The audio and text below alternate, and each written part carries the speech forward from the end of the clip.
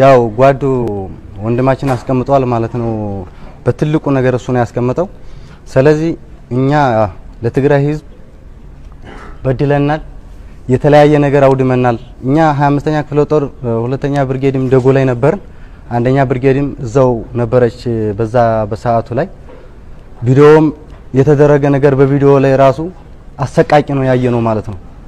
በጣም አሰቃቂ ነው። ይሄ ግደለው ጁንታ እስከሚባል ድረስ ያው መምሪያ የሰጠው ኮሎኔል ሶፊያና ይባላል አዛዡ እዚህ ባይኖርም በቃ የማይደረግ ነገር ከወገን የማይጠበቅ ነገር ተደርጓል ማለት ነው።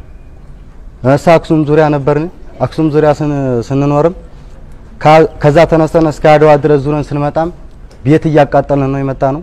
የተለያየ የገበሬ ቤት እያወደምን ነው የመጣ ነው። የተለያየ ነገር እያደረግን እያቃጠን ሴቶችም በነበሩበት እህቶቻችን በአክሱም የነበሩ ተደፍረዋል። ብዙ እህቶቻችን ማለት ነው። እነሱም እየተደፈሩ ግን የተደፈሩትም ደፋሪዎችም ፍርድ ተሰጥቷቸው ሂደዋል ማለት ነው ለስር በዛን ሰዓት ላይ ጥሩ ጥሩ አመራሮች በነበሩበት ተይዘው ሂደዋል እና እኛ እንደ አምስተኛ ክፍለ ጦር ጥሩ አይደለም። ጠቅላላ እንደ ወታደር ወታደር የረገጠበት ቦታ ላይ እስካሁን ድረስ ጥሩ አይደለም። የነገርን እየሰራን እያቃጠን ሰው ዝም ብለን በትእዛዝም እየተሰጠን ትገደላለህ። ይህን ሰው ካልገደልክ አንተም ያው ስለሚታወቅ ትገደላለህ።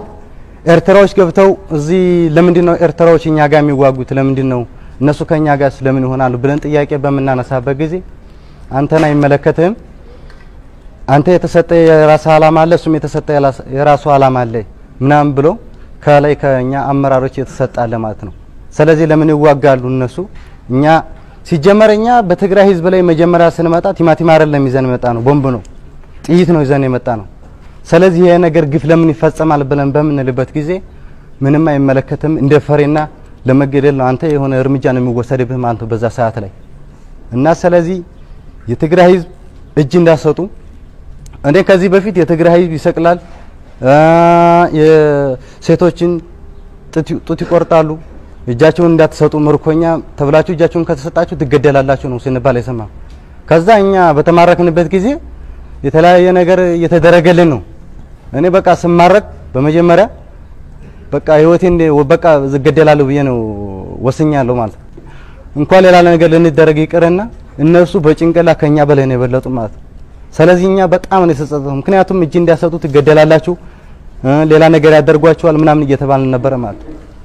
ስለዚህ ሁሉም የተዋለደ ነው። ሁሉም እዚህ ሚስቱ ያለች እህቱ አለች፣ የተለያየ ነገር አለ ማለት ግን ከኛ አይጠበቅም። እኛ እንደ መከላከያ ሰራዊት ላይ የመጀመሪያ ላይ ጭራሽ እኛ መከላከያ አይደለንም ነው የድሮ መከላከያ ሰራዊት አይደለንም።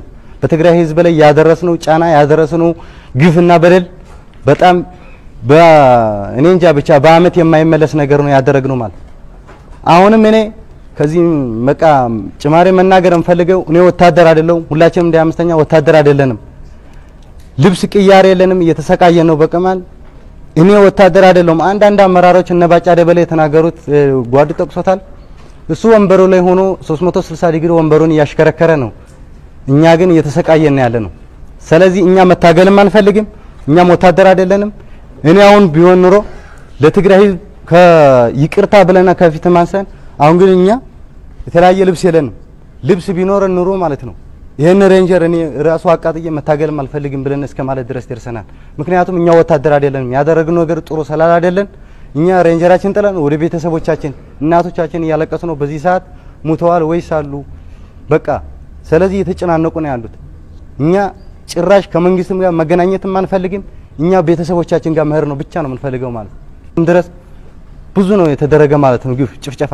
አመራሮች ለራሳቸው ከላይ ያሉ አመራሮች መኪና የህዝብ ፍራሽ የተማሪዎች ተጭኖ ነው ሲጓጓዝ የነበረ። ለምንድን ነው የሚጓጓዘው በምንልበት ጊዜ እናንተ አይመለከታችሁ ነው ስንባል የነበረ። ምክንያቱም መኪና የኛ የመከላከያ መኪና ይታወቃል። ኦራል ፓትሮል ውጪ ሌላ መኪና መጫን ምን አስፈልገው? ሌላ ፍራሽ መጫን ምን አስፈልገው? በጭራ ላይ በተያዘ በኮምቦሌ ተጭኖ ሲሄድ የነበረ የትግራይ ህዝብ ነው፣ ንብረት ነው፣ የኛ አይደለም። የኛ ይዘን የመጣ ነው ኦራል ፓትሮል መኪና የተለያየ ነገር ብቻ ነው። ከተቀረ ሌላ ነገር ሲጫንም የነበረ አመራሮች ለራሳቸው ብለው ሲጭኑ የነበረ ንብረት ትክክል አልነበረም። ለዛ ህዝቡ ደግሞ ትክክለኛ ዓላማ ስላለው ህዝቡ ደግሞ አልወጣም፣ የተለያየ ነገርም ቀርቷል ማለት። ስለዚህ በትግራይ ህዝብ ላይ አሁንም አሁንም ደጋግም የምለው እኔ ሁሉም እንደ አምስተኛ ይቅርታ ነው የምንፈልገው እኛ ማለት ነው። ከህግ እኛ ነገ ሄደንም ከዛ መንግስት ሸጉሮ በአማርኛ ሸጉሮ የተለያየ ወንድሞቻችን አሉ ወደ ውትድርና መልምሎ እንዲያስገባ ትምህርት እንሰጣለን ማለት ነው። የተለያየ ነገር እንዳያደርግ በአማርኛ እየሸወደ ራሱን እዛ ወንበር ላይ ቁጭ ብሎ አማርኛ ጨው ጨምሮ እያጣፈጠ ብዙ ልጆችን ወደ ትግል እንዲገቡ እንዲማረኩ እንዲገደሉ እያደረጉ ነው ማለት እኛ ከዚህ ወተን ግን ህዝብ ላይ ትምህርት እንሰጣለን። አሁን እናንተ በምትሉት እናንተ ወታደር እየታገለ እየሄደ ነው። ግን እኔ ደስ ያለ ነገር መሳሪያ የሚኒሻም የምንም አንቀማም፣ ወደኛ አዙሮ ካልተኮሰ እኛ መቀማት አንፈልግም ሲል እኔ በጣም ነው በቃ አፍረናል ማለት ነው።